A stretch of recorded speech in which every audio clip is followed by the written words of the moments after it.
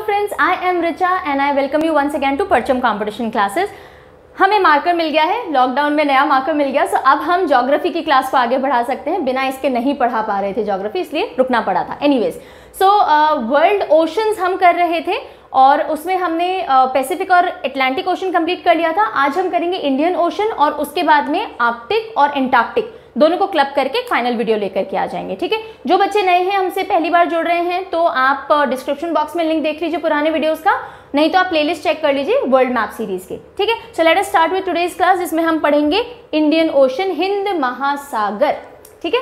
So basically कहाँ पड़ता है, वो देख लेते हैं।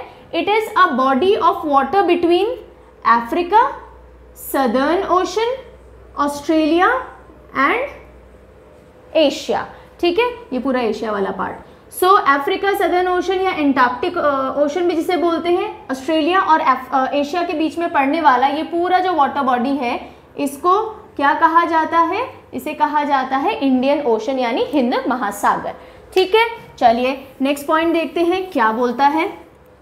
लाइज इन ईस्टर्न हेमिस्फेयर अब ईस्टर्न हेमिस्फेयर या कि यानी कि पूर्वी गोलार्ध क्या है? देखो, हमने जब लॉन्जिट्यूड पढ़े थे लैटिट्यूड पढ़े थे तो हमने देखा था कि जो ज़ीरो डिग्री लॉन्जिट्यूड है, जिसे हम प्राइम मेरिडियन बोलते हैं, वो अफ्रीका के वेस्ट वाले साइड से निकलता है तो वो इधर कहीं से निकल गया। अब ये पूरा जो हिस्सा है, ये कहाँ पड़ेगा?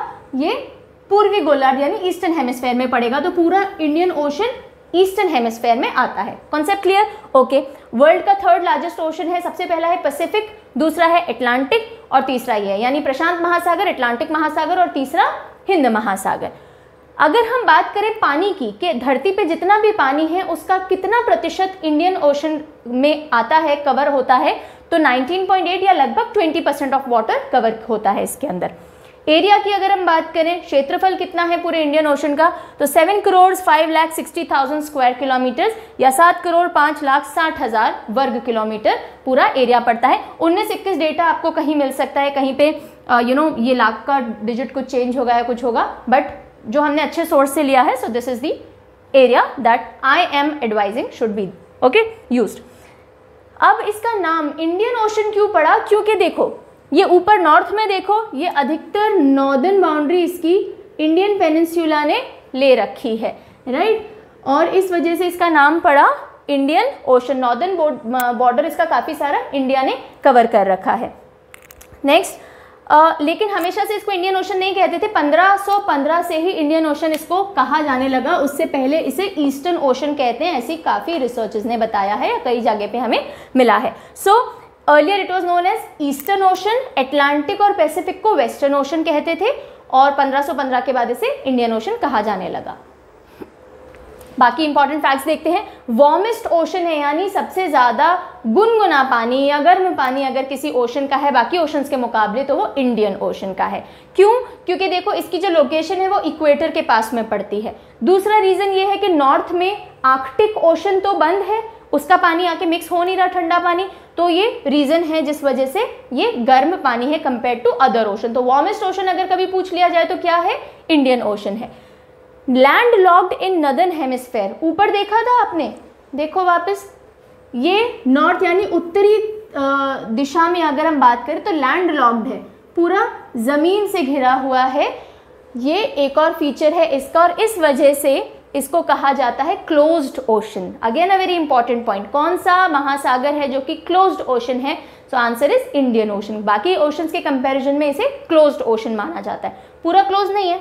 सदर्न साइड तो पूरा ओपन है, इसका ओपन वाटर्स है, लेकिन फिर भी इसे क्लोज ओशन कहते हैं क्योंकि नदर्न हेमिस्फेयर कवर्ड है। Ocean with maximum negative water balance very important point अभी समझाती हूँ एंड लोएस्ट ऑक्सीजन कंटेंट अब नेगेटिव वाटर बैलेंस क्या होता है, वो समझो पहले। ओशन में पानी आता है और ओशन से पानी जाता है। वाटर साइकिल होती है ना? पानी आएगा कैसे ओशन में? नदियों से आएगा या बारिश से आएगा? जाएगा कैसे? इवेपोरेशन से? वाष्पीकरण? ऐसे ही कुछ बोलते हैं ना? भाप बनती है जो। जिससे बादल बनेंगे, बारिश होगी। तो इंडियन ओशन के केस में क्या है? क्योंकि यहाँ तापमान कंपेरेटिवली ज़्यादा है तो यहाँ इवेपोरेशन ज़्यादा होता है और प्रेसिपिटेशन और जो इन्फ्लक्स है पानी का नदियों के द्वारा, वो कंपेरेटिवली कम होता है। तो यहाँ का वाटर बैलेंस कैसा है? नेगेटिव है। ओके ऑक्सीजन कंटेंट भी यहाँ कम होता है। And next point Madagascar. सबसे बड़ा आइलैंड पूरे इंडियन ओशन में कौन सा है? मैडागास्कर। बायोडाइवर्सिटी में बहुत रिच है यानी कि बहुत अलग अलग तरह के जीव जंतु पाए जाते हैं यहाँ पे है ना? Great great tortoise giant tortoise भी यहाँ मिलता है है ना? चलिए सो so, पूरे वर्ल्ड में फोर्थ लार्जेस्ट आइलैंड है ये और इंडियन ओशन का सबसे बड़ा आइलैंड है द्वीप है ना? Next is 40 percent of world offshore oil production comes from Indian ocean अब देखो ऑयल प्रोडक्शन होता है ऑफ़ शोर यानी जो कोस्टल एरिया है, उससे थोड़ा सा दूर। मैंने आपको पहले भी बताया था ना, अगर ये कॉन्टिनेंट है, और ये कॉन्टिनेंट आ गया, और ये समुद्र आ गया तो ये बीच में ये एरिया होता है जो कॉन्टिनेंटल राइज हम बोलते हैं। इस जगह पे मेजरली ऑयल ड्रिल किया जाता है, निकाला जाता है है ना? तो मैक्सिमम ऑयल प्रोडक्शन मैक्सिमम तो नहीं 40 परसेंट हाँ मतलब ज़्यादा ही है। 40 परसेंट पूरे वर्ल्ड का अगर ऑफशोर ऑयल प्रोडक्शन है तो वो कहाँ होता है? इंडियन ओशन के शोर से थोड़ा दूर होता है। आपने देखा हो जितने भी प्लांट्स हैं, वो पानी, थोड़े पानी के अंदर लगे हुए होते हैं, है ना? शोर फिर थोड़ा पानी समुद्र का और उसमें वो प्लांट्स लगे हुए होते हैं, क्योंकि ऑयल वहीं प्रोड्यूस होता है नेचुरली फिर हम उसको निकालते हैं। अब हम बात करते हैं deepest point in Indian ocean है ना? So answer is Sunda trench Sunda trench हाथी की सूंड से याद रखो। इंडिया में हाथी की पूजा करते हैं ना, गणेश जी की तो सूंड है तो सुंडा ट्रेंच सुंडा ट्रेंच इसको जावा ट्रेंच भी कहा जाता है पॉपुलरली जावा आइलैंड्स के थोड़ा साउथ ऑफ़ कोस्ट में है ये। ऑफ़ कोस्ट क्या होता है, समझ चुके हो ना? कोस्ट के थोड़ा सा दूर। ठीक है? उसे ऑफ़ कोस्ट बोलते हैं। सो सुंडा ट्रेंच या Java trench off southern coast Java island Indonesia depth कितनी है? सात हज़ार चार सौ पचास मीटर यानी seven thousand four fifty metres is the depth कई जगह आपको सात हज़ार दो सौ कुछ भी मिलेगा but this from a good source so you can rely on it ठीक है? यहाँ अगर हम मैप पे देखें तो देखो ये इंडोनेशिया है और यहाँ पे ये सुंडा ट्रेंच पड़ रहा है। ठीक है? ऑल राइट फिर ये देखो 90 ईस्ट रिज है, अभी मैं आगे थोड़ा बताऊँगी। बहुत इंपॉर्टेंट है और बहुत इंटरेस्टिंग है। I love geography I hope आपको भी अच्छी लग रही है अब। हाँ? चलिए। Next delimiting of Indian ocean यानी इंडियन ओशन की लिमिट्स कहाँ कहाँ तक है? कहाँ तक ही पानी को इंडियन ओशन कहा जाता है? उसके बाद वो दूसरे ओशन में काउंट कर लिया जाता है। पढ़ लेंगे, एक बार देख लेते हैं। देखो, ये जो लाइट ब्लू कलर आपको दिख रहा है, ये लाइट ब्लू और ये डार्क ब्लू और ये बीच में जो लाइन दिख रही है, यही लिमिटिंग लाइन है। पर हम आंसर ऐसे नहीं दे सकते।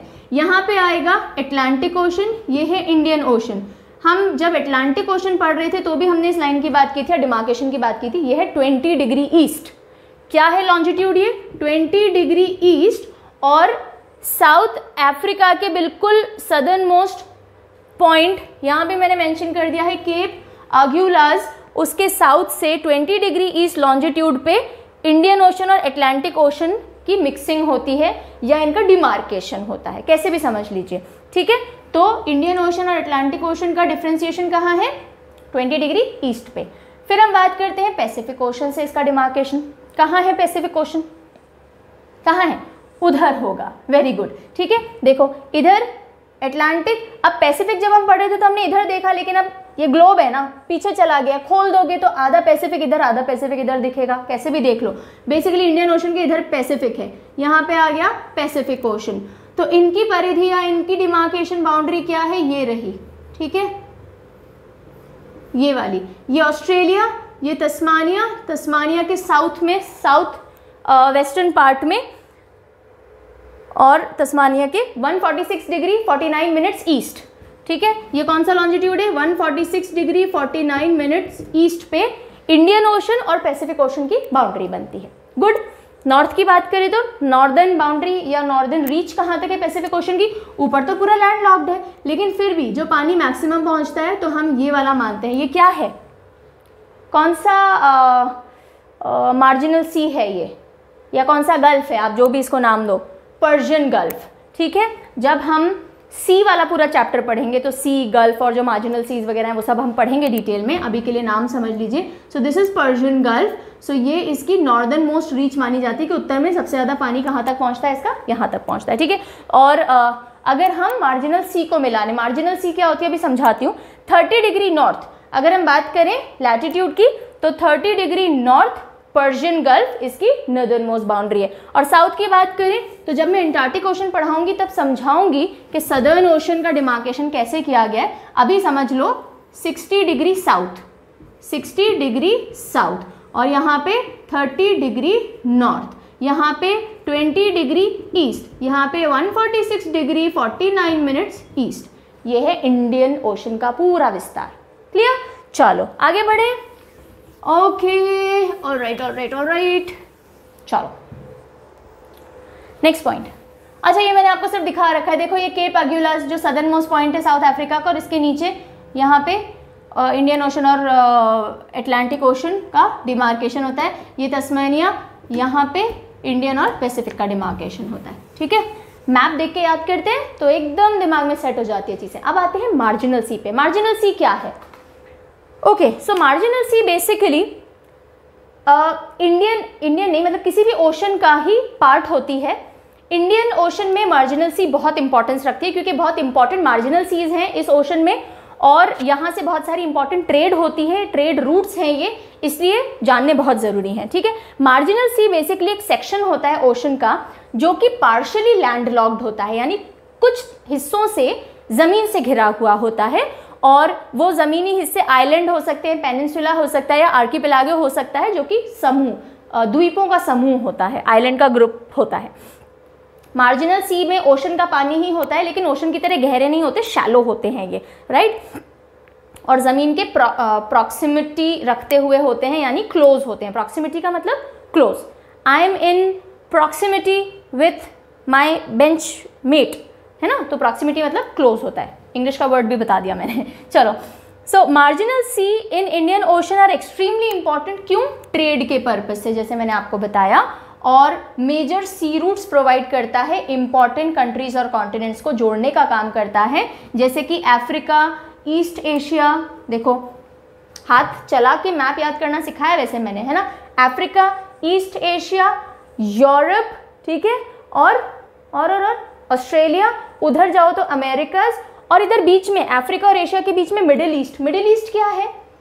मिडिल ईस्ट क्या है? मैंने आपको बताई थी एक किसी वीडियो में, आई रिमेंबर, कि ये वो कंट्रीज़ वाला हिस्सा होता है जो अरब कंट्रीज़ हैं, एशिया का ईस्ट वेस्टर्न पार्ट और अफ्रीका का north eastern part basically Egypt वाला हिस्सा। तो ये आ जाता है आपका मिडिल ईस्ट वाला, है ना?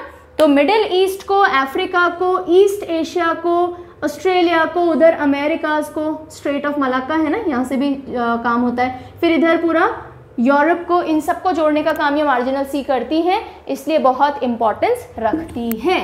ठीक है? चलिए आगे बढ़ते हैं। अब कौन कौन सी मार्जिनल सीज हैं? इंडियन ओशन की इंपॉर्टेंट जल्दी से देख लेते हैं। शुरू करते हैं राइट साइड से है ना? ये इंडियन पेनिनसुलर के राइट साइड से। तो पहली है बे ऑफ़ बंगाल सब जानते हो बंगाल की खाड़ी को। दूसरी है Andaman sea Andaman sea. Andaman Nicobar islands है ना, उसके इधर वाले जो वाटर है ना, इसको अंडमान सी बोलते हैं। आपको लिखा हुआ नहीं दिखेगा, इसलिए मैंने गोला कर दिया। ठीक है? अब अगर हम इंडियन पेनिनसुलर के इस साइड में आए लेफ़्ट में तो एक आ गई अरेबियन सी, अरब सागर, एक आ गई लैकडाइव सी, जिसको लक्षद्वीप सी भी बोलते हैं, लक्षद्वीप सागर भी बोलते हैं। फिर ऊपर देखो gulf of Oman Persian gulf gulf of Aden Red Sea ऊपर गल्फ ऑफ़ अकाबा भी आ जाएगा, आगे जाओगे तो स्विस केनाल भी आ जाएगा, पर इंडियन ओशन की रीच में जो है उतना ही हम बता रहे हैं। फिर आ जाएगा इधर मोजाम्बिक चैनल ठीक है? तो ये सारे मार्जिनल सीज हैं जो कि ट्रेड के लिहाज से बहुत इंपॉर्टेंट है। ओके इन सबको हम पढ़ेंगे जब हम सीज वाला चैप्टर करेंगे, पर आप एटलीस्ट लोकेशन आइडेंटिफाई करते जाओ। जितनी बार मैप पे इनको देखोगे ना, उतनी बार दिमाग में सेट हो जाएँगे ये, ठीक है? हाँ वेरी इंपॉर्टेंट टॉपिक अगेन एक इंपॉर्टेंट पॉइंट इंडियन ओशन से रिलेटेड जो कि है सब मरीन फैंस पंखा, पानी के अंदर. हाँ ये पंखा किसने बनाया? पंखे जैसी शेप है और सेडिमेंट्स जो नदियाँ लेकर के आती हैं और महासागर में डालती हैं ना, ये इन सेडिमेंट से जो शेप बनती है, उनको सबमरीन फैंस कहते हैं. ये देखो, ये नदी आ रही थी, ये हिमालय हिमालय जो भी पहाड़ियों से निकल के आई और ये गिरी सागर में. ये होता है कॉन्टिनेंटल राइज लेवल ऊँचा होता है ना कॉन्टिनेंट का? तो यहाँ जैसे ये गिरी तो इन्होंने अपनी सारी मिट्टी विट्टी पटकी, वो हैवी होती है, नीचे इकट्ठी हो जाती है। तो ये जो स्ट्रक्चर बनेगा ना, पंखे जैसा इसको बोलते हैं सबमरीन फैंस ओके तो इंडियन ओशन अपने सबमरीन फैंस के लिए जाना जाता है। दुनिया के सबसे बड़े दो सबमरीन फैंस इसमें हैं। एक है बंगाल का फ़ैन एक है इंडस का फ़ैन है ना? बंगाल का फ़ैन बे ऑफ़ बंगाल में बनेगा। कौन सी नदी लाएगी? गंगा ब्रह्मपुत्रा। उसमें गंगा नदी का मेन माना जाता है फ़ैन फिर अगर हम इंडस की बात करें अरेबियन सागर में इंडस नदी लाएगी उसको इंडस फ़ैन कहते हैं सिंपल है। So submarine fans underground geological structures होते हैं लार्ज स्केल सेडिमेंट डिपॉजिट करते हैं और largest submarine fans of the world Indian ocean में है बंगाल फ़ैन और इंडस फ़ैन ओके देन ये देखो ये रहा बंगाल फ़ैन बहुत लंबा पंखा है ये। हाँ सो so, ये पूरा यहाँ तक जा रहा है। Alright right? और ये है इंडस फ़ैन ठीक? सो बंगाल फ़ैन जिसको गैंजिस फ़ैन या गंगा फ़ैन भी बोलते हैं वो सबसे लार्जेस्ट है और uh, ये सेकेंड लार्जेस्ट है इंडस वाला और 40 percent sediment of Indian ocean इन दो फैंस में ही है। मतलब अगर हम बात करें जो डिपॉजिट्स या सेडिमेंट्स हैं इस ओशन के बेस पे उसका 40 प्रतिशत डिपॉजिट सिर्फ़ इन दो जगहों पे है। ठीक है? तो इतना सारा डिपॉजिट है जो इन दो फैंस ने कर रखा है इंडियन ओशन में। ठीक? आगे चलो। थोड़ा लाइट दिख रहा होगा, कोई बात नहीं, मैं समझा दूँगी। देखो, अब वो तो था फैंस तो डिपॉजिट हो जाते हैं।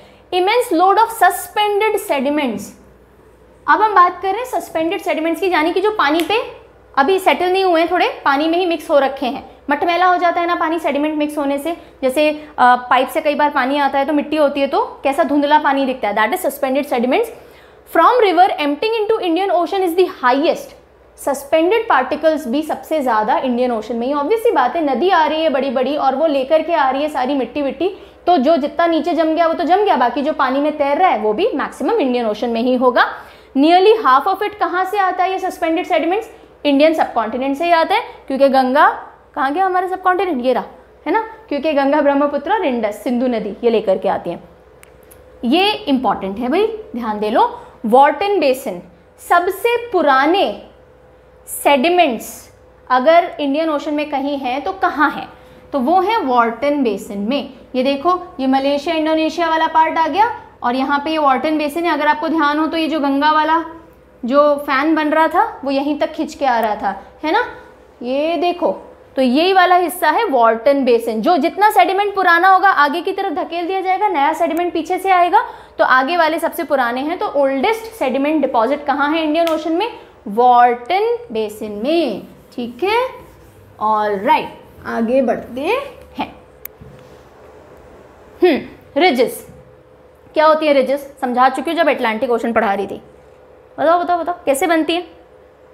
जब दो टेक्टोनिक प्लेट्स डाइवर्ज करती हैं कन्वर्ज मतलब आपस में आना डाइवर्ज यानी दूर होना। फॉल्टिंग की वजह से बनते हैं जब दो टेक्टोनिक प्लेट्स डाइवर्ज करती हैं तो बीच में क्या बन जाता है? रिज बन जाता है। और इस रिज से ये दो प्लेट्स हो गई, ठीक है? और इस रिज से मैग्मा जो धरती के कोर में से, गर्भ में से धरती के निकल के आता है गर्मा गर्म और वो ऊपर आते ही थोड़ा ठंडा होता है और डिपॉजिट होता जाता है, होता जाता है, ठीक है? तो इस तरह से ये रिजेस बन जाती हैं माउंटेन जैसे स्ट्रक्चर पानी के अंदर। और पूरा जो, पूरा ओशनिक रिजेस हैं, वो बहुत बहुत विस्तृत अंडर वाटर माउंटेन रेंजेस हैं, ठीक है? And they are huge structures so so, अब हम पढ़ेंगे इंडियन ओशन की रिजेस के बारे में ओके सो इंडियन ओशन में भी एक्टिव स्प्रेडिंग रिजेस हैं यानी कि बढ़ रही हैं विस्तृत हो रही हैं। कौन कौन सी रिजेस हैं? बहुत सारी हैं।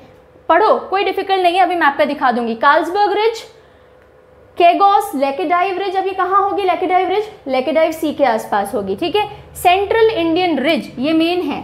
सेंट्रल इंडियन रिज ही आगे जाके दो पार्ट्स में डिफ्रेंशिएट होती है डिवाइड होती है south west south west Indian ridge, south east Indian ridge. फिर है मेडागैस्कर रिज, मेडागैस्कर के आसपास होगी, है ना? 90 डिग्री ईस्ट रिज, बहुत इंपॉर्टेंट है, अलग से पढ़ेंगे। 90 डिग्री लॉन्जिट्यूड के पैरेलल है ये, वहाँ होगी, और है ब्रोकन रिज ओके सो ये इंपॉर्टेंट रिजेज है, नाम ध्यान रखना, ये रिज कौन से? ओशन से रिलेटेड है। अभी इतना ही करना है आपको। अब हम आ जाते हैं रिजेस की एक बार पोजिशन देख लो। ठीक से नहीं दिख रहा होगा, बहुत कुछ है मैप मैं समझाती चलूँगी डोंट वरी ये आ रही है कार्ल्सबर्ग रिज। ठीक है, जो हमने सबसे पहली रिज देखी। ये इंडियन पेनिस्टुला है। इसके देख लो, साउथ वेस्ट से। कार्ल्सबर्ग रिज आ रही है, बेसिकली यहाँ से स्टार्ट होती है, ठीक है? सो, आती है और यहाँ आपकी ये जो आपको दिख रही है, लैकेडाइव रिज है ये। ठीक है, ये दोनों मिले और ये आपकी इंडियन रिज। ये आगे जाके एक्सटेंड हो जाते हैं in the Indian ridge Indian ridge फिर दो हिस्सों में बढ़ जाती है। एक आ जाती है साउथ वेस्ट इंडियन रिज, एक चली जाती है साउथ ईस्ट इंडियन रिज। ठीक है? तो ये इन्वर्टेड वाई जैसा बना रही है? ऐसा इन्वर्टेड वाई है ना?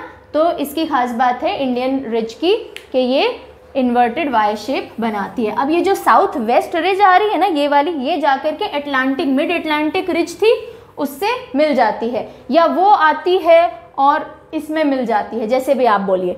ठीक है? और अभी के लिए इतना ही समझो। और ये ब्रोकन रिज देखो। हाँ 99 वाली भी देख लो। 90 डिग्री रिज ये जा रही है। ओके अभी इसको अलग से पढ़ेंगे। ये है ब्रोकन रिज फाइन सो ये सारी रिजेस मैंने बता दी और मेडागैस्कर ये वाला एरिया है ना? सो so, कहाँ है भाई? हमें बहुत धुंधला दिख रहा है। ठीक है। सो so, ये आ गई मेडागैस्कर वाली रिज ओके सो ये सारी रिजेस हो गई। अब पढ़ लेते हैं फटाफट से। इनके बारे में। लोकेशन देख लिया ना? चलो। So mid ocean mid Indian ocean ridge सबसे इंपॉर्टेंट है, जो हमने देखी, सीधी आ रही थी, और दो पार्ट में डिवाइड हो गई। कार्ल्सबर्ग आ रही है, फिर लैकेडाइव आ रही है, वो आगे जाके इंडियन ओशन रिज कहलाती है मिड इंडियन ओशन और दो पार्ट में डिवाइड हो जा रही है साउथ वेस्ट और साउथ ईस्ट ओके तो ocean floor of Indian ocean is dominated by mid Indian ocean ridge सबसे बड़ी जो डोमिनेटिंग रिज है, वो यही है। इसको सेंट्रल इंडियन ओशन रिज भी कहते हैं। सेपरेट करती है अफ्रीका प्लेट को इंडो ऑस्ट्रेलियन प्लेट से। अभी दिखाऊँगी डायग्राम में। अफ्रीका वाला जो हिस्सा है अफ्रीका की टेक्टोनिक प्लेट है और इधर इंडो एश ऑस्ट्रेलिया की टेक्टोनिक प्लेट है। इन दोनों को डिवाइड करने का काम ये रिज करती है। ठीक है?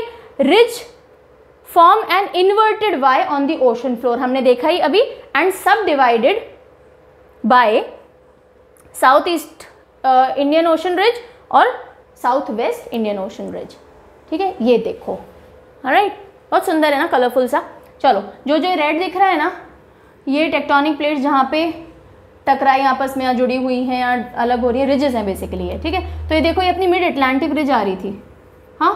यही इधर। अब इसी का एक्सटेंशन बोलो या मैं ऊपर से समझा देती हूँ। चलो, थोड़ा इजी हो जाएगा आपके लिए समझना।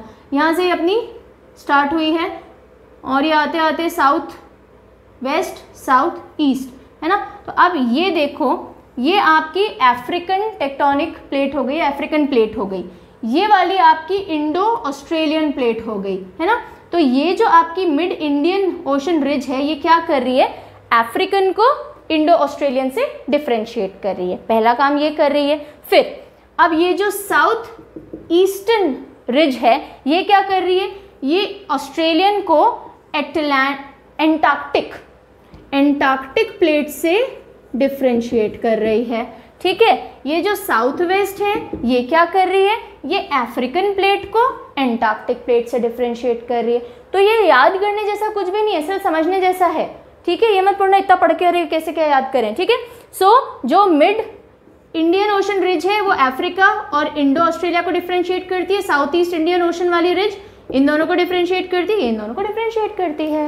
Nothing typical in it right अब हम आते हैं 90 ईस्ट रिज। खास क्यों है? क्योंकि दुनिया की सबसे लंबी सीधी रिज है। इसलिए खास है। ठीक है? चलो। और अधिकतर रिजेस जो होती है ना, वो सीजमिकली एक्टिव होती हैं। यानी कि अर्थक्वेक और वॉल्केनिक इरप्शंस होने के चांसेस रहते हैं उनमें। सीजमिक एक्टिविटी हो सकती है। ये जो है, ये ए सीजमिक है। ठीक है? तो मतलब वर्चुअली तो इनमें नहीं होना चाहिए वॉल्केनिक या अर्थक्वेक जैसा कुछ घटनाक्रम। All right so most striking is the a seismic virtually earthquake free ridge longest straight ridge है डिवाइड करती है इंडियन ओशन को दो हिस्सों में। हाँ अब देखो ज़ीरो डिग्री से हमारा प्राइम मेरिडियन तो ऑलमोस्ट इंडियन ओशन के, ये 90 डिग्री पे जा रही है। 90 डिग्री लॉन्जिट्यूड के पैरेलल जाती है तो 90 डिग्री एक तरह से ईस्टर्न हेमिस्फेयर के बीचों बीच से जा रहा है। तो ओशन को वेस्टर्न इंडियन ओशन और ईस्टर्न इंडियन ओशन में बांट देती है। ऐसा समझिए। अभी मैप पे दिखाऊँगी और अच्छे से समझ में आ जाएगा। ठीक है तो divide Indian ocean into west and east first discover की गई थी 62 के अंदर, है ना? 90 है। नाइन का ऑपोजिट सिक्स तो सिक्सटी टू आपको ध्यान रखने में थोड़ा आसानी रह सकती है। Extends between latitude thirty three degree south and seventeen degree north यानी नीचे कहाँ तक जाती है? Thirty three degree south latitude तक जाती है और ऊपर कहाँ तक जाती है? सत्रह डिग्री नॉर्थ लैटिट्यूड तक जाती है। इनके बीच में है ये। आगे बात समझ में? ये लैटिट्यूड्स हैं।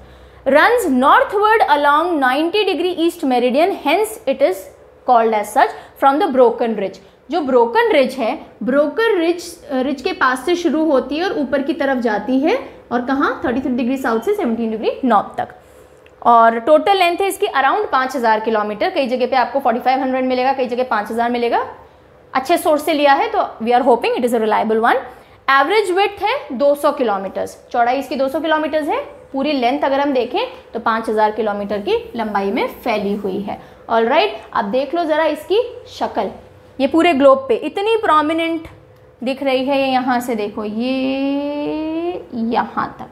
ठीक है? ऑलमोस्ट यहाँ तक. और ये है वो ब्रोकन रिज ये ब्रोकन रिज इसके ऊपर से 33 डिग्री साउथ से 17 डिग्री नॉर्थ तक एक्सटेंडेड है। Right right? और अगर हम बात करें इसके लैटिट्यूड लॉन्जिट्यूड डायमेंशंस के साथ में तो ये देखो ये 90 डिग्री जा रहा है और ये रही ये, बिल्कुल इसके पैरेलल पैरेलल चलती है, इसलिए इसको 90 डिग्री नाइन्टी ईस्ट रिच कहा जाता है। ठीक है? कोई प्रॉब्लम नहीं होनी चाहिए। हाँ? आगे चलते हैं फटाफट। चलो। रोड्रिक ट्रिपल जंक्शन क्या है? ये अलग एक इंपॉर्टेंट uh, पॉइंट बन सकता है। What is Rodrigues triple junction या रोड्रिक्स ट्रिपल जंक्शन में तीन कौन सी प्लेट्स का मिलना होता है या तीन कौन सी रिजेस का मिलना होता है ठीक है? So geologically triple junction in the southern Indian ocean में बनता है जहाँ पे तीन टेक्टोनिक प्लेट्स मिलती हैं ओके okay? कौन कौन सी टेक्टोनिक प्लेट है? जरा सोच के बताओ पूरा अभी जो मैंने बताया वहाँ पे तीन चीज़ें कहाँ पे मिल रही होंगी? एक तो मिड इंडियन रिज आ रही थी ओशन रिज एक साउथ ईस्ट है, एक नॉर्थ वेस्ट है, वही जहाँ पे मिल रही होंगी उसी को रॉड्रिक ट्रिपल जंक्शन कहेंगे। कॉमन सेंस है ना? सो बस ये वही है। और कौन कौन सी प्लेट है? इधर अफ्रीका थी, इधर इंडो ऑस्ट्रेलिया थी, नीचे एंटार्क्टिका वाली थी तो ये तीनों मिलती हैं। तो ये वो जंक्शन है जहाँ पे African plate Indo Australian plate and Antarctic plate मिलती है। कुछ नहीं है ना समझने का? पहले से ही बताया अपने को। सो सेंट्रल इंडियन रिज मिलती है एक तो है ना? मतलब सेंट्रल इंडियन रिज आती है एक तो उस टेक्टोनिक प्लेट की बाउंड्री पे। एक साउथ वेस्टर्न इंडियन रिज आती है और एक साउथ ईस्टर्न इंडियन रिज आती है। मैं पहले ही समझा चुकी हूँ आपको कि सेंट्रल इंडियन रिज जिसमें कार्ल्सबर्ग रिज भी इंक्लूडेड है, वो अफ्रीकन प्लेट को इंडियन प्लेट से डिवाइड कर रही है। देखो, समझाया था? ना ये है।